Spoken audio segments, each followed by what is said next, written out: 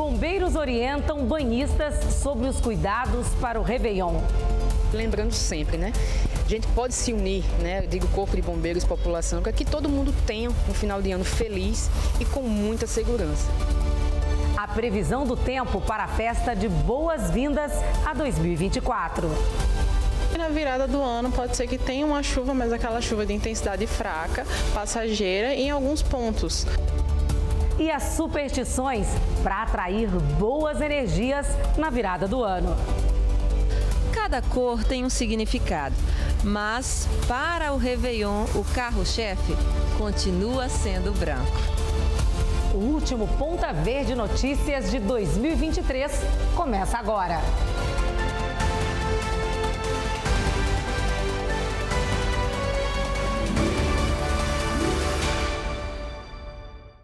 Boa noite.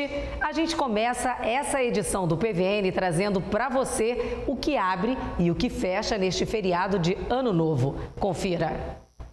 As agências bancárias não vão funcionar no primeiro dia de 2024, assim como as centrais já. No domingo, o centro de Maceió funciona das 8 da manhã às 3 da tarde. Na segunda-feira, as lojas serão fechadas. As casas lotéricas não funcionam neste feriado. Os trens e VLTs em Maceió não vão circular neste 1 de janeiro. No domingo, o Parque Shop e o Maceió Shop funcionam das 9 da manhã às 6 horas da tarde. Já o Pátio Shop abre das 9 da manhã às 8 horas da noite. Na segunda-feira, as lojas de todos os shoppings estarão fechadas. Funcionam apenas a praça de alimentação e lazer, do meio-dia às 9 da noite. Se você aí está se preparando para viajar neste fim de ano, então é importante fazer a revisão do seu veículo para garantir uma viagem tranquila e segura. Mailson Franklin conversou com um especialista no assunto. Olha pessoal, chegou o final de ano, Réveillon está aí. Você que está pensando em viajar para outro estado, até mesmo para as cidades aqui do interior de Alagoas, você já fez a revisão do seu carro? Ainda não? Olha, é importante você fazer a revisão é importante você ficar atento a algumas coisas do seu carro. Eu vi uma oficina mecânica aqui em Maceió, que fica no bairro do Poço. Vou conversar com o Eduardo Marinho, ele que vai passar dicas importantes para o seu veículo, principalmente na hora de viajar. São algumas coisas básicas, Marinho, que o motorista precisa ficar atento e precisa verificar no carro, né? Principalmente para quem vai viajar aí para fora. Passa essas dicas aí, essas orientações, Marinho tem que fazer isso periodicamente, semanalmente, na troca do óleo. Procura uma oficina, um auto center de sua confiança, que eles vão fazer esse diagnóstico de graça, não vão nem cobrar por esse diagnóstico, para saber o que é que se precisa estar trocando alguma coisa, alguma correia dentada, se os, os, os fluidos estão corretos. Mas assim, uma parte dá para o próprio motorista fazer isso semanalmente coisa simples, olhar a calibragem do pneu que ninguém olha. Isso influencia no alinhamento do carro. Olhar fluido antes de viajar, os fluidos, fluido de arrefecimento, os fluidos de, de lubrificante, do óleo do motor. Iluminação é outra coisa que você mesmo pode olhar. As lâmpadas, as luzes. Né? as lâmpadas, se tem luz de freio, se é cabível de multa, passível de multa. Deixa agora, lógico, o cara não tem tempo dia a dia. Vai no auto center, vai numa oficina mecânica de sua confiança e pede para fazer um checklist no carro. Como eu disse, não é cobrado. Isso ele não vai pagar por isso. E ele vai determinar se o que ele vai fazer ou o que ele não vai fazer, o que é prioridade para ele fazer para essa viagem. Lógico, tem outros itens. O estado de pneu também é muito importante. Isso aí recorre, isso é um item de segurança altíssimo. Você olhar em que condição seu pneu está. Sistema de freio tem, tem que ser trocado antes de você fazer, principalmente se for uma viagem. Né? Você viajar, já vi, teve clientes meus que ficou no meio da viagem sem freio. Aí isso aí realmente você tem que procurar uma oficina para dar, dar uma olhadinha aí no freio para ver como é que tá. Um ótimo feliz 2024. Para todos nós. E ainda falando sobre segurança, a Polícia Rodoviária Federal iniciou a operação Ano Novo em todo o Brasil para orientar os condutores sobre os cuidados na hora de pegar a estrada. O Adson Correia tem os detalhes. E é sobre esse assunto, sim, que a gente conversa com a porta-voz da Polícia Rodoviária Federal de Alagoas, trazendo dicas importantes para quem vai pegar a estrada. Todo cuidado é pouco. Eu converso com a Patrícia. Patrícia, seja bem-vindo ao nosso telejornal. Então, quais são as dicas necessárias para quem vai pegar a estrada? Então, os motoristas eles precisam primeiramente tomar muito cuidado com a revisão do veículo. Tem que fazer um, toda uma manutenção do veículo antes de pegar a estrada. É necessário observar se os itens de segurança obrigatórios do veículo estão todos presentes e funcionando adequadamente, né? Tem que observar o limpador de para-brisa se está funcionando, analisar o estado dos pneus, verificar se o step está presente no veículo. O motorista também não pode ingerir álcool, não pode utilizar celular ao volante, prestar atenção no sistema de iluminação do veículo, sistema de freios, o próprio estado do, do, motorista, o motorista precisa estar em bom estado, precisa observar o tempo necessário de descanso. Então, todos esses cuidados são extremamente importantes para que o motorista possa, possa chegar ao seu destino com segurança. E quem vai viajar acaba sempre levando uma criança, é preciso também ficar atento à cadeirinha.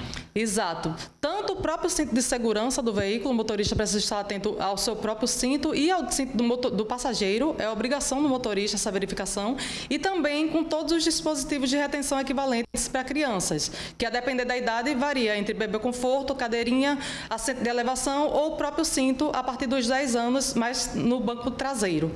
A gente sabe que tem documentação virtual, mas é bom sempre levar a física mesmo para evitar é, qualquer dor de cabeça.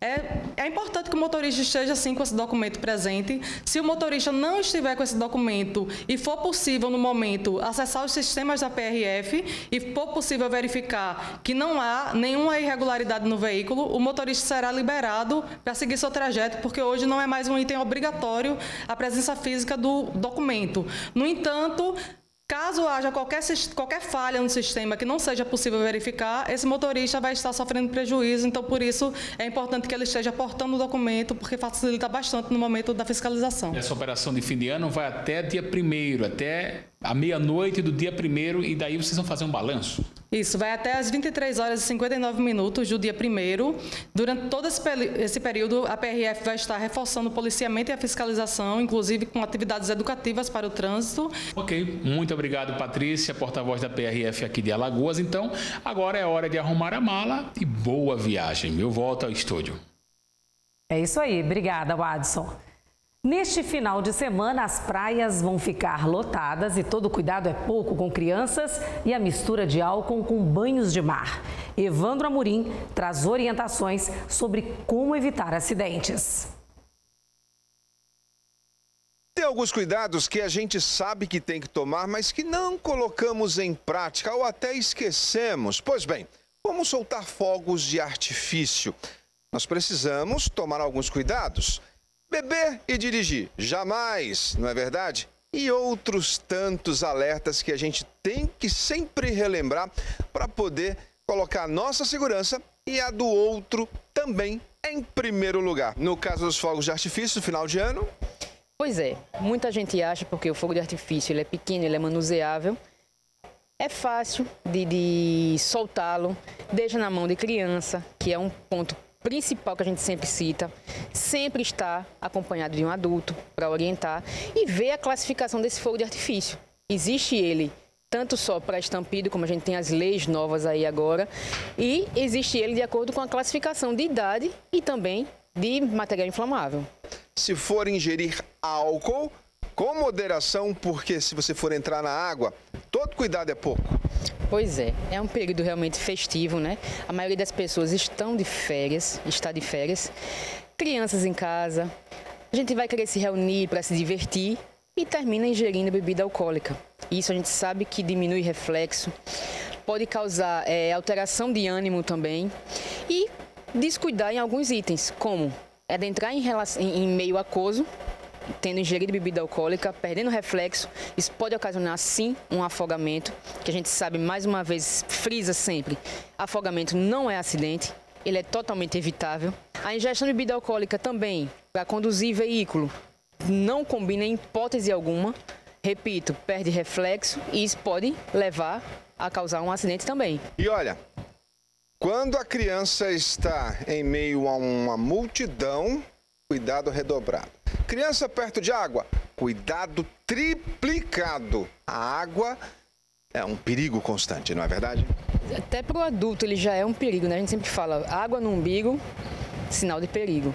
Imagina com uma criança que até às vezes sentada na beira da praia, ela pode vir a ter um movimento, cair e isso causa gerar um afogamento. Quando a onda vier para cima dela, né, isso gerar um afogamento. Então assim, quando a gente fala em crianças, o cuidado, eu até digo, não é nem dobrado nem triplicado, é quintuplicado mesmo. Lembrando sempre, né? A gente pode se unir, né? Eu digo Corpo de Bombeiros, população, para que todo mundo tenha um final de ano feliz e com muita segurança. Mas, caso isso fuja do controle, não demorem chamem o Corpo de Bombeiros pelo através do número 193. Feliz 2024. Veja agora como será o esquema de segurança e o funcionamento das delegacias durante as festividades do dia 31. Mailson Franklin tem as informações. Olá, Estela. Olha, a Secretaria de Segurança Pública aqui de Alagoas vai reforçar a segurança nesse Réveillon, tanto na capital como no interior do estado. Eu converso com o delegado Eduardo Mero, que vai passar mais detalhes, porque a Polícia Civil vai estar de plantão, delegados, agentes de polícia, escrivãos, então todo mundo é trabalhando nesse, nesse final de ano, no final de ano no Réveillon. Doutor Eduardo Mero, como é que vai ser o esquema policial da Polícia Civil? É o funcionamento de todas as delegacias plantonistas, como Central de Flagrante, Delegacia da Mulher da Capital, as bases da OPLIT também estarão de prontidão para bem atender a população e o turista. Então a gente vai ter esse reforço também no Agreste e no Sertão, para que a sociedade seja bem acolhida e bem atendida pela Polícia Civil.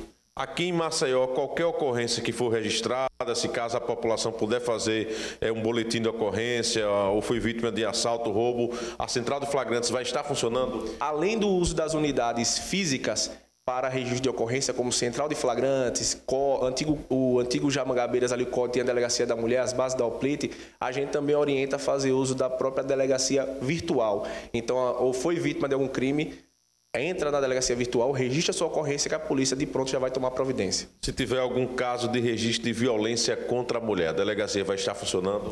Delegacia da Mulher funcionando por determinação do governador do estado há alguns meses, já 24 horas por dia, 7 dias por semana, ali no antigo Jamangabeiras, a DEAN.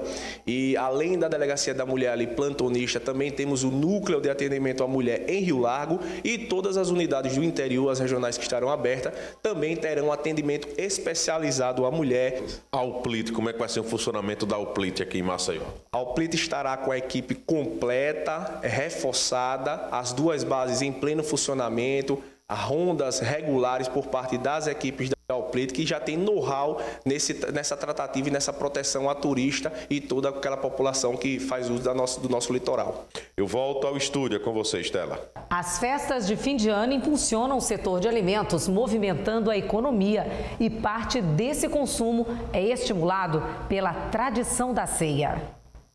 Esta é a visão dos sonhos para os apaixonados por doces. As tortas, que são as protagonistas, se dividem em mais de 80 sabores. E nesta época de fim de ano, o fluxo aumenta entre 50% e 60%. O ápice ocorre nas vésperas de Natal e Ano Novo, superando até o Dia das Mães, que é considerada a data mais importante para o comércio. Eu tenho bastante encomendas né, de pessoas pessoas que já são clientes nossas durante o ano.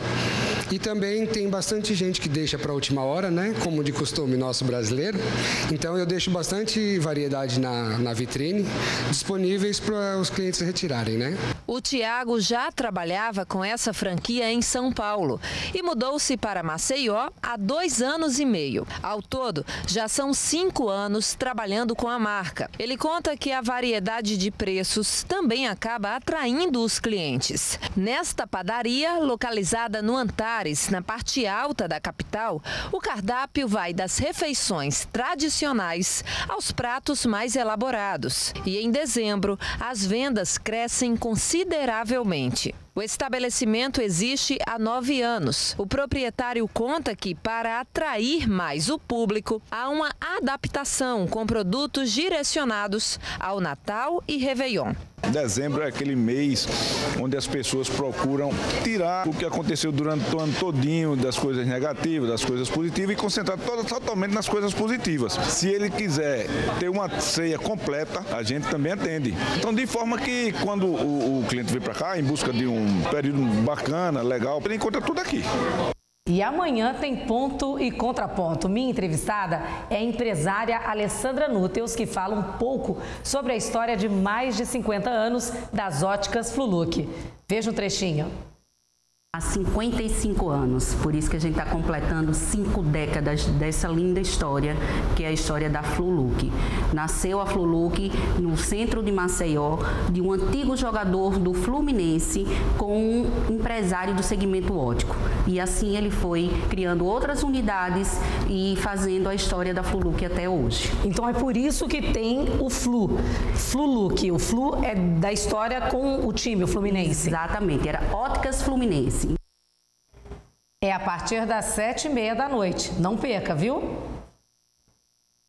Já está todo mundo nos preparativos para a festa da virada. Mas como é que será que vai estar tá o tempo nesse Réveillon? Evandro Amorim conta pra gente. Boa noite, Evandro. Boa noite, Estela. Boa noite a todos. Pois é, Estela, hoje fez um dia de muito sol, à noite tem estrelas, está um pouquinho abafado, está um tempo seco. Amanhã, sabadão, dia de sol, de praia, tranquilo. Domingão também vai dar praia. Agora, e perto da virada, que é o que todo mundo quer saber, o que, que vai acontecer? Vai chover só um cadinho. Vai ou não vai, Fernanda? Exatamente. A previsão é que o sábado ele continue de sol e tempo seco em todas as regiões ambientais aqui de Alagoas. E na virada do ano pode ser que tenha uma chuva, mas aquela chuva de intensidade fraca, passageira, em alguns pontos é, daqui da região do litoral. Então pode ser que tenha uma chuva ainda na virada do ano, próximo de meia-noite, uma hora da manhã. E é, de fraca intensidade. Olha, a gente já está acostumado, né? Às vezes chove muito, às vezes chove um pouquinho, mas sempre dá uma chuvinha na virada do ano, a chuva de bênçãos. É bem verdade? A mulherada não gosta muito, porque aí estraga o cabelo e tudo mais, maquiagem, mas como eu costumo dizer, ninguém é de açúcar, né? Exatamente. Vai passar virada onde? Em casa mesmo. Em casa, que bacana, com a família. Exatamente. E olha, para você que vai acompanhar a virada aí é, ou seja no bio, ou na orla, na queima de fogos, vai chover um pouquinho, mas nada que atrapalhe a festa, né? Não, não vai atrapalhar, é uma chuva de fraca intensidade e vai passar bem rápido. E no dia 2? No dia 2 pode ser que intensifique um pouco essa chuva, e aí pode chover durante o dia, uh, com bastante variação de nebulosidade, então chuvas intercalando com um período de tempo seco. Obrigado e um feliz 2024. Feliz 2024, feliz ano novo. Feliz ano novo, é isso aí. Próximo da virada, um pouquinho de chuva, mas nada que estrague. Para você dar boas-vindas, receber 2024 com muita fé e amor. Feliz ano novo. Para você também, ainda bem que não vai chover tanto, né? Porque eu quero pular minhas sete ondas.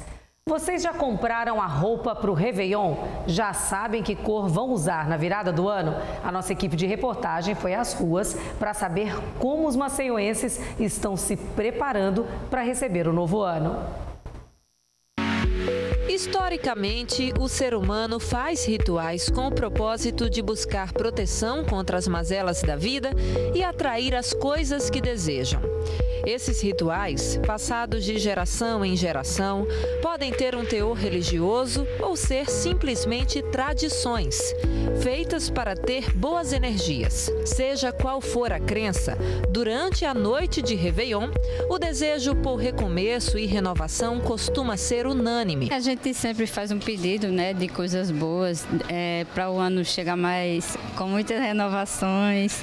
Dependendo da fé, a peça que vestimos pode influenciar. O azul significa confiança, harmonia. O verde a gente sempre associa a saúde, boa sorte esperança. Já os tons em vermelho ou rosa são associados ao amor, afeto, carinho, a paixão. Cada cor tem um significado, mas para o Réveillon, o carro-chefe continua sendo branco. Nesta loja do centro de Maceió, por exemplo, a maioria dos clientes vem com o mesmo pedido. O tradicional, né? Sempre o branco. Embora as pessoas estão procurando muita coisa com brilho, muito glamour, mas é isso, o tradicional mesmo, o branco, é o que mais sai. O Felipe vende raízes e ervas medicinais. Ele conta que a procura por esses artigos aumenta no fim do ano E o que está liderando as vendas é esta semente, nomeada de olho de boi. Sai bastante nesse momento, que o pessoal usa ele mais para tirar tipo inveja, olhar, para trazer uma boa sorte, entendeu? No dia a dia. E é bom muito Nesse final do ano também a pessoa usar bastante, bota dentro da bolsa, numa carteira para tirar inveja, para trazer uma boa sorte para esse próximo ano, que é 2024, né? E você está vendendo bem? Vendo bastante ele aqui. Até eu tenho dentro da bolsinha.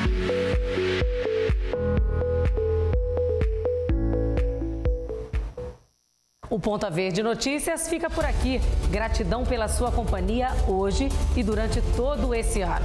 Tenha uma ótima noite. Aproveite bem a virada com a sua família e amigos. E nos encontramos novamente na semana que vem. Na segunda, Evandro Amorim estará aqui com vocês. Feliz Ano Novo. Te vejo na terça-feira. Tchau, tchau.